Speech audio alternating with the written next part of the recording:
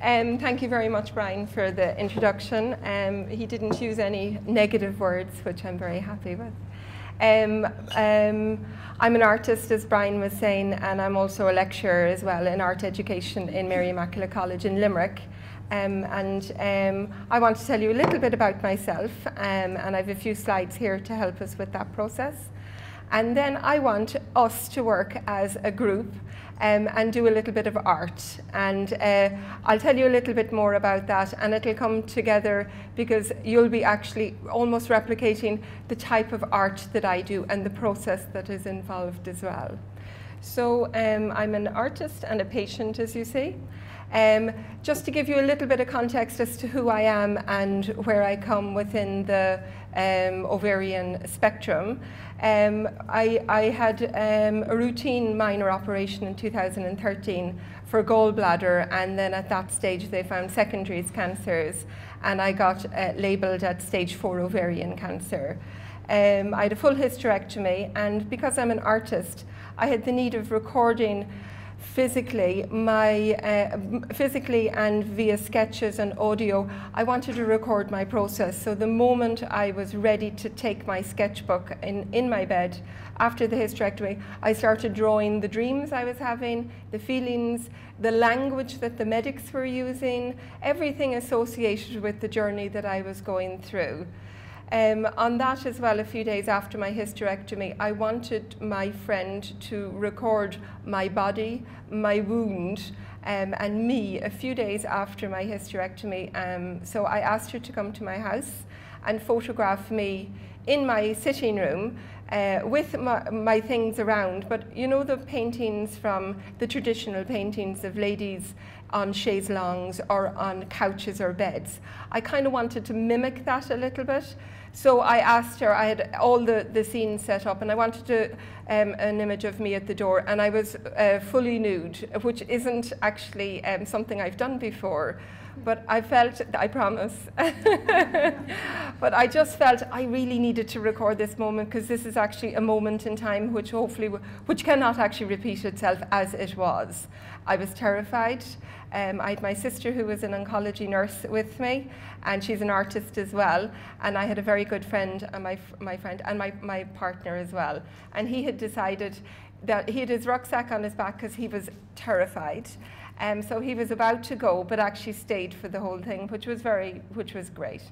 But uh, we, photo we photographed, Pauline photographed me, and um, she did audio and video. So I have those as a bank of resources as an artist to use, and I'm using them actually. And I'll be having, uh, I have an exhibition actually in Mary I at the moment. If anyone is in Limerick, it's on for the next week. But I want to do a very big um, exhibition based on those photographs. Anyway.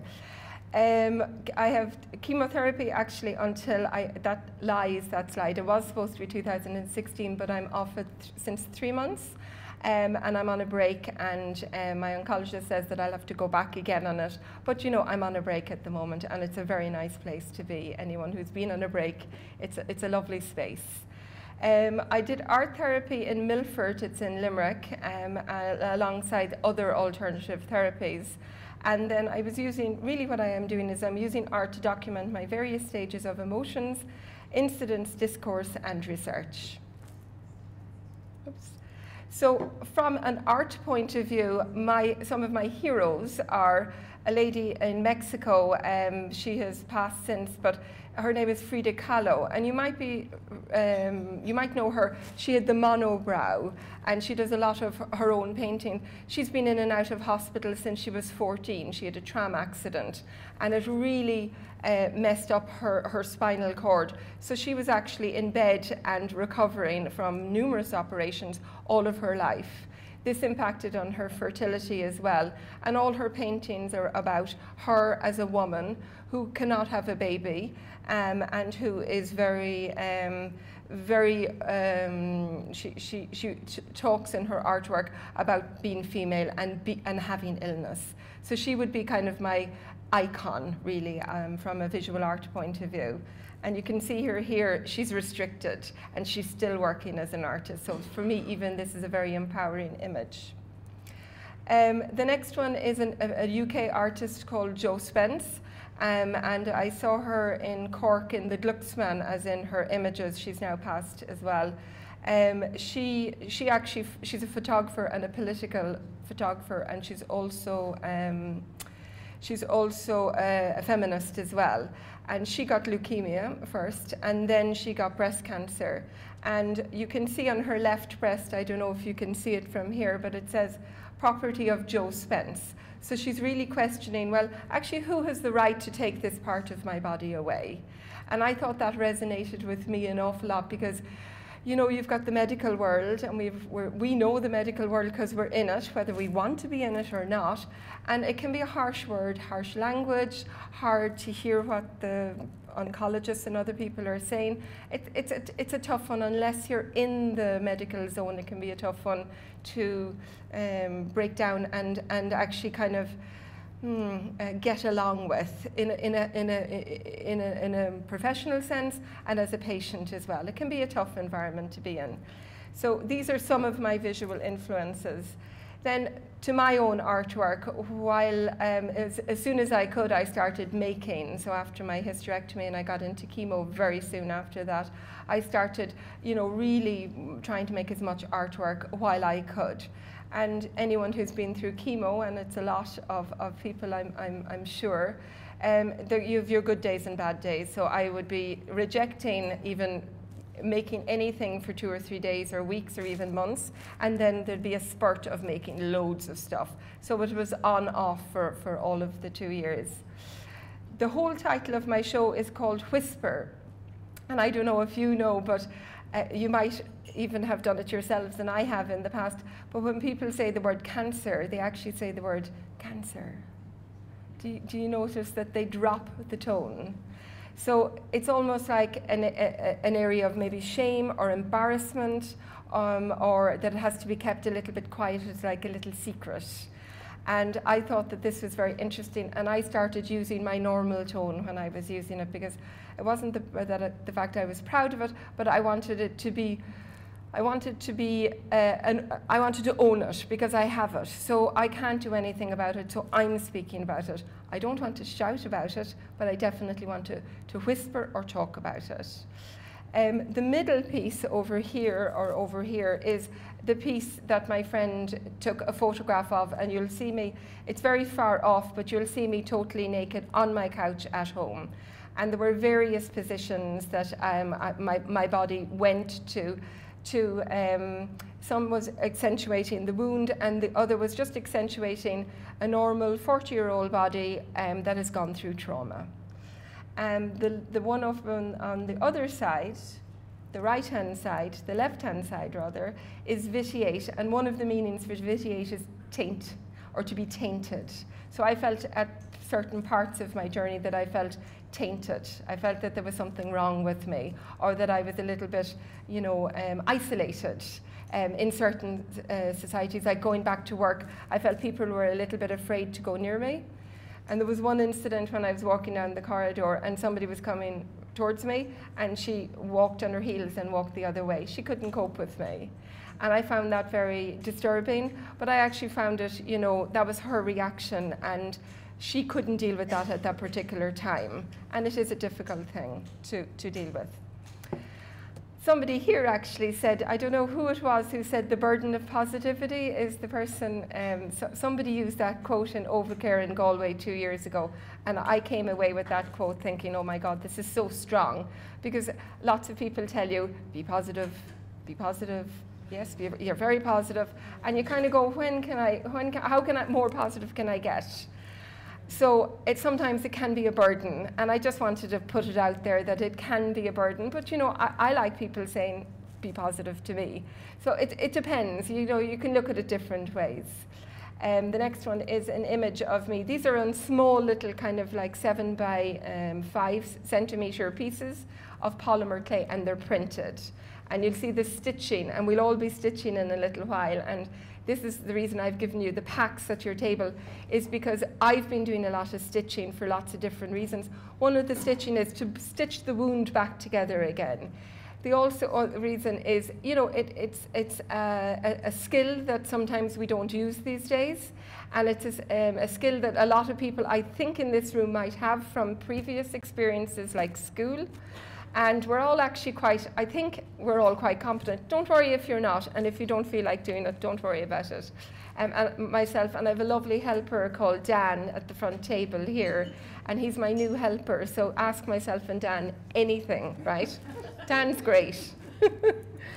um, this is another one. Um, I was very much into the different types of ritual, morning rituals. And I did this piece, and it's called I'd Rather Not Host You. And host being the host of cancer being within me, and also host being, it seemed to be, I was. Um, it's kind of a religious term as well, the word host. It has its own significance. And the veil seemed to be very significant for me because um, I don't know, do you, some of you remember wearing mantillas? Um, back in the day in, in the churches, and we had to oh, cover the heads. And also, maybe the ritual of covering your head when you're in mourning. And it's a shield. It's to shield you and protect you from society for a period of time. And this resonated an awful lot with me. Um, I did these works very quickly. I was lecturing at the time, and I just had to get these works. I did these works in a day, and they're small little pieces. And I was very angry with my um, with the, the um, impact my first six chemos had on me. It changed my physique. It changed my mental attitude, and and I, I changed. It, I lost my hair, and I felt the hair in particular actually as a source of identity was devastating for me. Even though actually I embraced the baldness and didn't wear a wig, I loved it. But I felt very aggrieved losing the hair. The moment I lost my hair, um, I felt ex extremely upset. So I have a lot of hair in, in this work and a lot of medical tubes. You'll see a few tubes in there as well. And also birds, again, back to the kind of Victorian and Gothic ritual for, um, for death and grieving. I seem to be reading a lot around that area. Um, so it's onto our workshop. Um, so what we're going to be doing is you are going to be sewing significant words, phrases, quotes, symbols of memories or um, onto the material that you find in your envelopes. And I've already threaded um, your needles with different thread.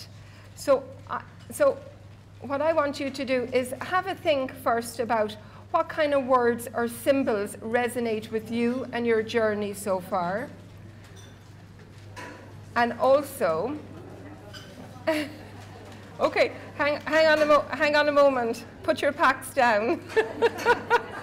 Push your packs away from you. just, we, I'll tell you what, we, we'll get cracking at this in two minutes. It's just, it, it would be nice just to, so everyone's on the same page.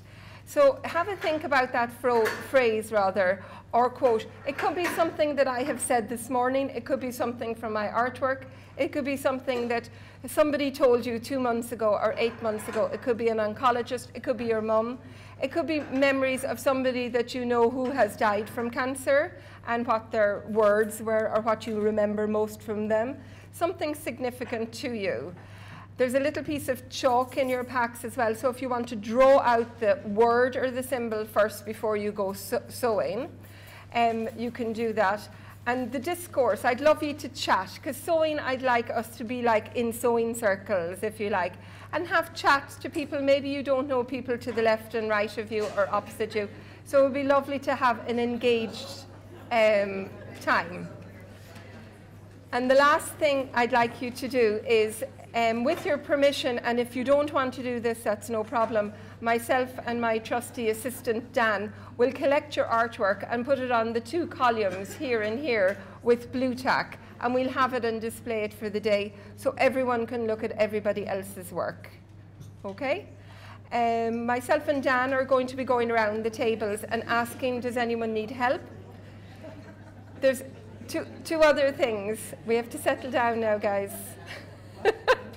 two, two other things. One, I've lovely old-fashioned thimbles, and they're from the Teacher Training College, and I think they're back in the day. And there's a, a box of them up there, And Dan has left little thimbles on each of your um, table. They're precious it items from our history of sewing, so I'd love them back, okay? if that's okay with you. And um, I think that's it. Are there any questions that anyone wants to ask? No? Do you want to get cracking on the workshop and we'll be around to talk to you? Okay, good luck. You too. Oh, eh, sorry, one more thing. If anyone wanted to check out my artwork, I've got a website here, so take it down and uh, feel free to take a look. Thank you.